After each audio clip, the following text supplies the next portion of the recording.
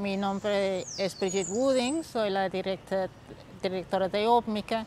Entiendo que la movilidad humana es normal. Tenemos las ballenas jorobadas que nos visitan eh, todos los años a Samaná aquí eh, y de así eh, como no sin pasaporte, de manera que hay que entender que todos tenemos el derecho de movernos y así mejorar nuestra propia situación y la situación para la humanidad. Eh, antes que nada, cuéntanos cómo has llegado a, República Dominicana viniendo de Inglaterra o del Reino Unido. llegué eh, efectivamente al Caribe, a Santo Domingo en particular, ya desde comienzos de los años 90 eh, del siglo pasado, en el marco de una misión de cooperación internacional que enmarcaba todo el Caribe y bueno, después de varios años decidí quedarme aquí. ¿Y el tema de migraciones ya este, lo traías desde el Reino Unido o fue algo que incorporaste al conocer la realidad de la española, digamos, de esta isla que es tan particular cuando hablamos de migraciones, ¿no? que es repartida entre República Dominicana y Haití? Sí, eh, me interesaba antes de llegar acá este, el tema de la migración, pero en realidad fue eh, aquí que, que pude comenzar a profundizar algunos temas. Eh, me tocaba hacer eh, todo un trabajo, eh, por ejemplo, bajo el primer golpe de Aristide en Haití, 91 a 94.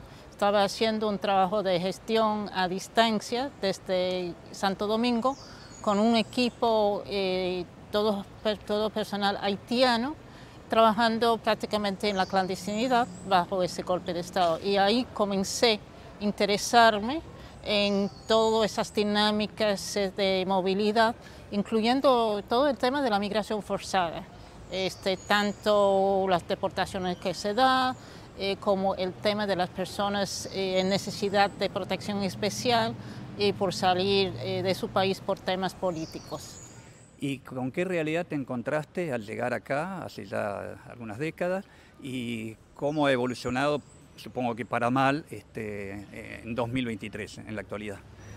Sí, es muy interesante comparar cómo es la situación desde hace algunas décadas con la situación actualmente. Hay algunas tendencias que se mantienen y esas tendencias es que una persona en cinco en el Caribe, nacido en el Caribe, vive permanentemente fuera del Caribe, ¿verdad? Eso es ya es una tendencia que sigue en el tiempo. Y lo que sigue también, una tendencia que se está reforzando, es la migración intrarregional, siendo el corredor Haití-República uno de los corredores de más antigüedad en toda América Latina y el Caribe y un corredor que tiene más complejidades, ¿verdad? Estamos hablando de un siglo de migración laboral desde Haití hacia República Dominicana. Eh, eres coordinadora o directora, mejor dicho, del Observatorio de Migraciones del Caribe, ¿no? Y además un centro miembro de Claxo, ¿no? Este, ¿Nos puedes presentar un poquito este observatorio y el vínculo con Claxo?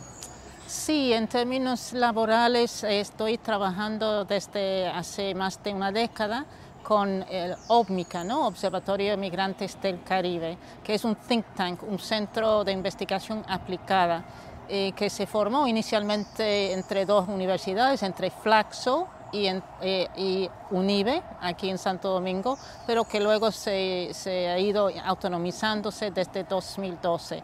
Lo que hacemos es investigación sobre eh, temas que tienen que ver con las dinámicas migratorias que afectan el país, la isla y en efecto todo el Caribe insular, con miras a mejorar las políticas públicas, o sea, en su elaboración o en su aplicación, para que sean más respetuosas de los derechos de las personas migrantes. Trabajan desde una perspectiva de género y enfoque de derechos. Eh, la perspectiva de género en tema migratorio este, nos este, interesa particularmente, nos afecta a todos particularmente, así que te pediría un poquito tu visión sobre ese aspecto, digamos, de las migraciones este, relacionadas con el género y más en una región como esta, en una isla como esta, donde este, se suma este, el, origen afro de gran parte de la población. Sí, OPMICA en efecto trabaja desde una perspectiva intersectorial, ¿verdad? Pero sobre todo enfocando una perspectiva de género, un enfoque de derechos. ¿Qué quiere decir eso en la práctica? Y, por ejemplo, hemos hecho estudios sobre la violencia hecha contra la mujer migrante desplazada en tránsito en la frontera. Hemos hecho estudios y para tratar de medir el nivel de riesgo a la patria eh, para eh, mujeres este, que viven en, en. Y últimamente hemos dado un giro para eh, reflejar y estudiar todo lo que es la problemática de acceso a salud pública y para las personas migrantes, pero sobre todo las mujeres. ¿Por qué estamos estudiando ese fenómeno? Porque en los últimos años se ha dado un giro negativo en la medida en que políticas más restrictivas eh, han estado obstaculizando el acceso a la salud pública eh, para eh, mujeres migrantes. Eso quiere decir eh, que, por ejemplo, están en un momento dado fiscalizando el estatus migratorio de mujeres hasta en las maternidades, hasta sacando mujeres migrantes embarazadas de las maternidades y exponiendo a esas mujeres, eh, por ejemplo, a detenciones arbitrarias y deportaciones, lo que es completamente en violación de la legislación dominicana, los acuerdos eh, binacionales, por no decir convenciones internacionales. Ya que eres europea, ¿no? ¿Cómo piensas, cómo se ve desde Europa toda esta realidad? Digamos? Porque ellos tienen obviamente su propia problemática, sabemos lo que ha pasado todos estos últimos años este, en el cruce del Mediterráneo, el drama migratorio, el drama de otros países también que van hacia Europa Central, este, pero ¿les interesa, se preocupan? ¿Hay alguna sensibilidad en Europa por lo que pasa tan lejos de ellos? Eh, sí, es interesante eh, constatar que en Europa sí están preocupados por lo que pasa en otros lares. Este, como sabemos, tiene sus, eh, propios eh, problemas, tiene una serie de, de dificultades para este, gobernar las migraciones en, como en sus propios territorios, eh, pero sí, lo que hemos constatado es, por ejemplo, que la Unión Europea tiene una mirada muy especial para Haití Republicana, porque República Dominicana ya este, comienza a entrar en los este, programas de cooperación, este, tomando en cuenta que Haití desde cierto tiempo ha estado en, en esos, este, esos proyectos. Y lo que constatamos es que están interesados en esas dinámicas migratorias eh, transfronterizas, que es un tema que nos interesa eh, sobremanera, ¿verdad? Entonces sí, eh, hemos visto que tiene cierta sensibilidad en términos de apoyo financiero y en términos de tratar de eh, intercambiar buenas prácticas y las cosas que, que, más bien no han funcionado en términos de la gobernanza, una buena gobernanza de las migraciones. Seguramente has estudiado temas migratorios en toda América Latina. Bueno, en el continente tenemos la frontera más caliente que es la de México con, Estados Unidos. Este, ¿Cómo has estudiado esa problemática en particular? ¿no? Además que toda poblaciones generalmente de Centroamérica y de otras regiones del Caribe también, que este, van hacia el norte. Sí, en términos del trabajo nuestro, lo que intentamos hacer es enmarcar lo que está pasando en el Caribe, en la isla, dentro de esas dinámicas más amplias. Y lo que sí y nos queda claro es que por diferentes motivos la migración haitiana, en particular la migración forzada que se da hoy en día, es la migración eh, que desde nuestra perspectiva está más expuesta a vulneraciones de derechos, eh, a estereotipos negativos, ¿verdad? Y eso se puede ver en términos de eh, todos los países que han estado acogiendo estas poblaciones. Eso se, se, puede ver hoy en día entre República Dominicana y Haití, en que el año pasado este, tiene el volumen más alto de deportaciones que jamás hemos visto, ¿verdad? Eh, pero eso se puede eh, como equilibrar con el hecho de mismo bajo el proyecto este, la administración Biden siguen haciendo deportaciones. Este, la administración Biden ha hecho más deportaciones, por ejemplo, de personas haitianas hacia Haití eh, que las dos administraciones anteriores eh, combinadas. Entonces son, eh, son problemáticas en que hay cada vez menos actitud de hospitalidad, hay cada vez, cada vez menos ese, ese, uso de, Cartagena, ¿no? que Cartagena que fue algo en que los países de América Latina decidieron tratar de ir un poquito más allá de las convenciones de Ginebra en relación con personas refugiadas, personas con necesidades de protección especial, pero hoy en día se nota menos generosidad, políticas más restrictivas, no solamente con la migración haitiana, pero por ejemplo en términos de la migración venezolana que está realmente, este, está, eh, se encuentra por, por, todas partes de, de América Latina. Eh, entonces eso es una inquietud y porque en la, en la medida en que se está mermando este, el respeto de los derechos de las personas migrantes, todos sufrimos porque hay menos Estado de Derecho. Hablaste de Haití varias veces, ¿no? Este, bueno, supongo que has ido a Haití. ¿Cómo se ve ese mismo tema migratorio desde el otro lado de la frontera? ¿no? Porque son hombres, mujeres, familias que, este, o que vienen a trabajar o que vienen por temas salud, etcétera, de este lado de la frontera, ¿no? Este, y cómo piensan ellos que los esperan que los reciben de este lado en Santo Domingo, en República Dominicana.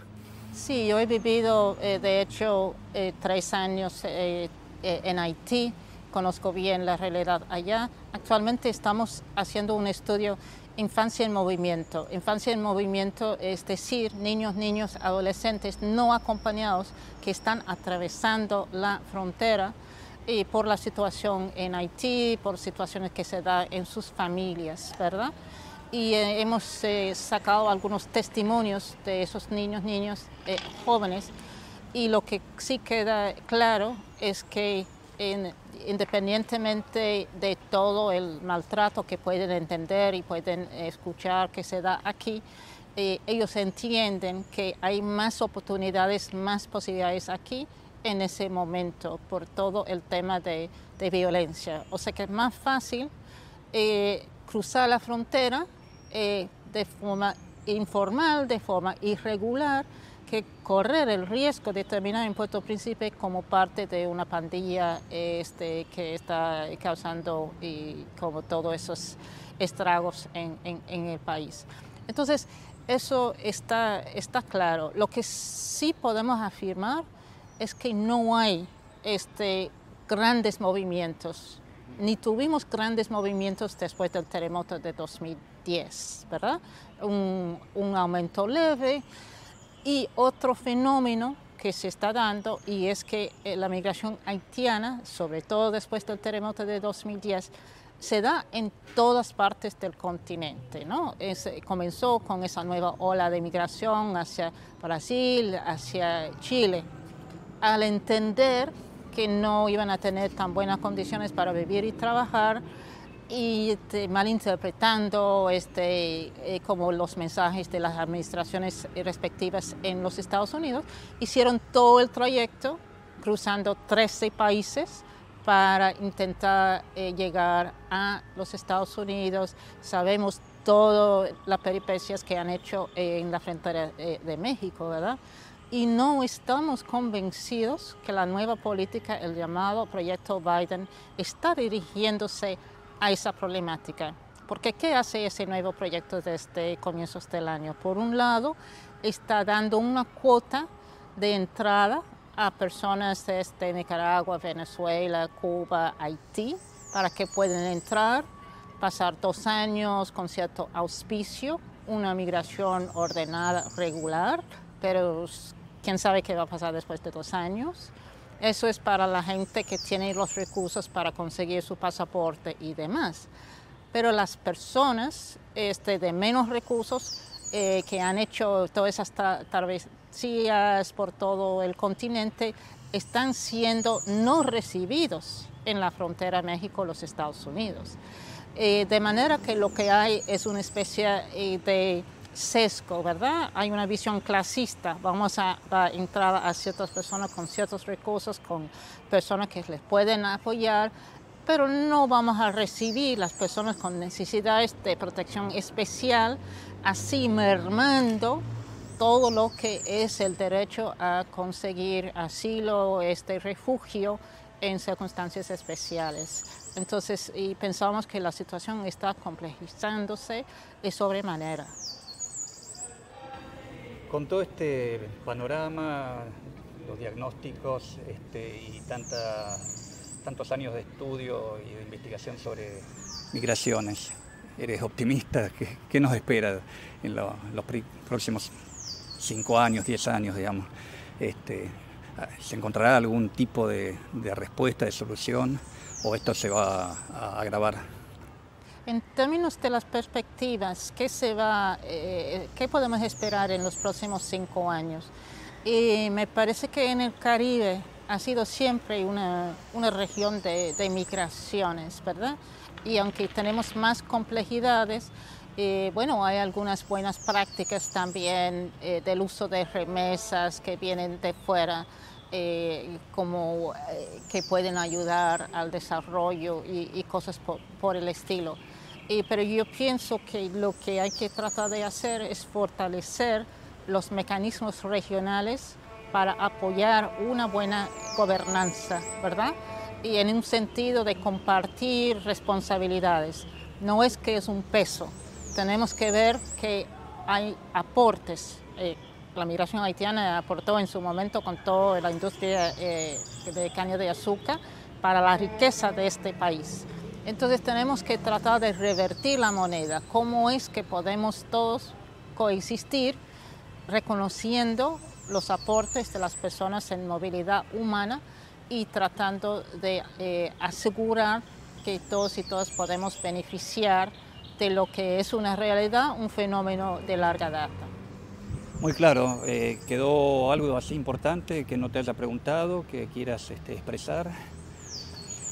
Em, me parece que lo que es importante en el caso de, Claxo es que tiene eh, como esas conexiones a nivel regional, ¿verdad? Y eso es importante porque me parece que al intercambiar experiencias, al hacer incidencia política mancomunada, tenemos la posibilidad eh, como académicos eh, de hacer aún más influencia este, eh, tener como este, más, eh, eh, sí, hacer más influencia en los gobiernos este, respectivos para que sea más un tema que no está tratado como una catástrofe internacional, sino como, como una oportunidad internacional. y, y así me parece que interesante que que se puede seguir, adelante con su trabajo de intercambios eh, a ese nivel.